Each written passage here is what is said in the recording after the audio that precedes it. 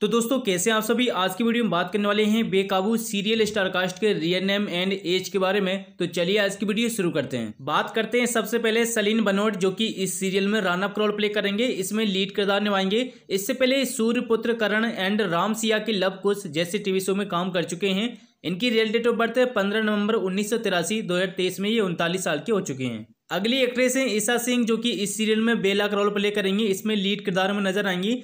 इससे पहले ये, इसके सुबहान अल्लाह, एंड सिर्फ़ तुम जैसे टीवी शो में काम कर चुकी हैं इनकी रियल डेट ऑफ़ बर्थ है चौबीस दिसंबर उन्नीस सौ अंठानवे, दो हज़ार तेईस में चौबीस साल की हो चुकी हैं। अगली एक्ट्रेस है मोनालिसा जो कि इस सीरियल में यामिनी का रोल प्ले करेंगी। इससे पहले ये नज़र एंड नमक इश्क का जैसे टीवी शो में काम कर चुकी हैं। इनकी रियल डेट ऑफ़ बर्थ है इक्कीस नवंबर उन्नीस सौ बयासी, दो हज़ार तेईस में चालीस साल की हो चुकी हैं। अगली एक्ट्रेस है शिवानगी जोशी, ये भी इस सीरियल में किरदार निभाएँगी। इससे पहले ये ये रिश्ता क्या कहलाता है and Balika Vadhu season two जैसे टीवी शो में काम कर चुकी है। इनकी रियल डेट ऑफ़ बर्थ है अठारह मई उन्नीस सौ अंठानवे, दो हज़ार तेईस में चौबीस साल की हो चुकी हैं। अगले एक्टर हैं जैन इमाम, जो कि शिवानगी जोशी के अपोजिट कैमियो रोल प्ले करेंगे।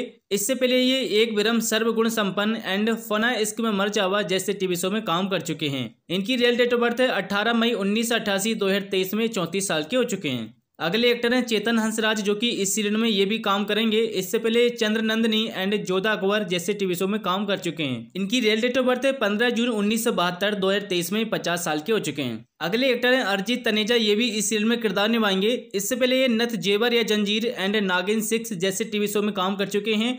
इनकी रियल डेट ऑफ़ बर्थ दस नंबर उन्नीस सौ बानवे, दो हज़ार तेईस में तीस साल के हो चुके हैं। एंड अगली लास्ट एक्ट्रेस है सुभावी चौक से, ये भी इस सीरियल में काम करेंगी। इससे पहले कसौटी ज़िंदगी की एंड बड़े अच्छे लगते हैं सीज़न टू जैसे टीवी शो में काम कर चुकी हैं। तो दोस्तों, इस शो की स्टारकास्ट आपको कैसी लगी? वीडियो के नीचे कमेंट करके ज़रूर बताएँ और इसी तरह की वीडियोस देखने के लिए तीखी हुए इसको सब्सक्राइब करें।